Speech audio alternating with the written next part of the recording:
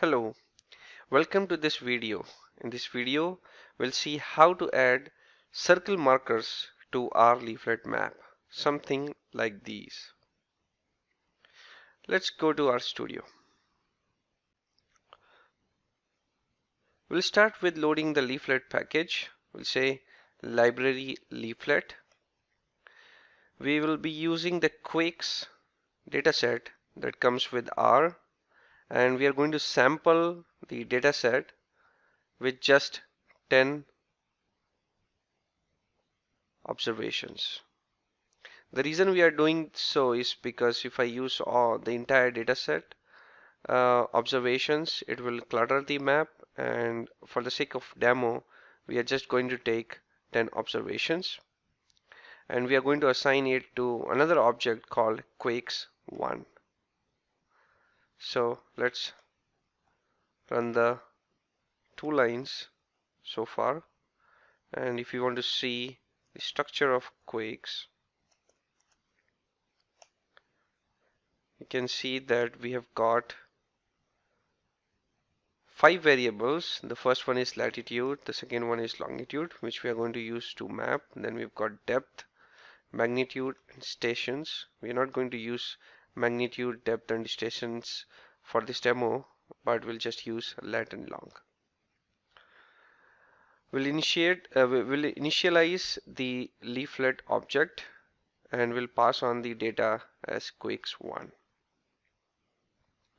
Next, we'll add the add providers tiles.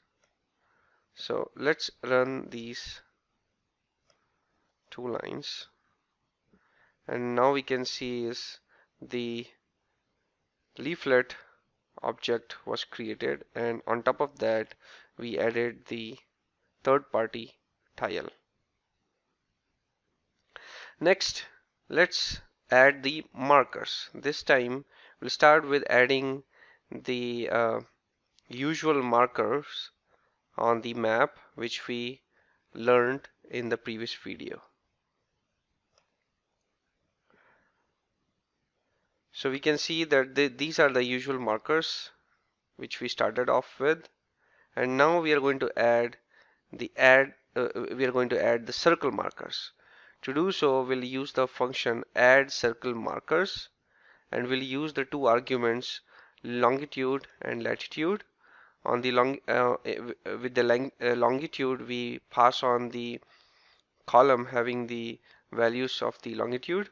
So we'll say longitude equals tilde sign the variable containing the longitude and same the case with latitude will pass on the variable having latitude.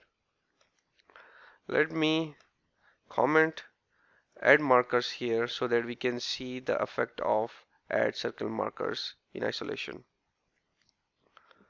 So if I run this code now you can see that we have got these markers which are in the form of circle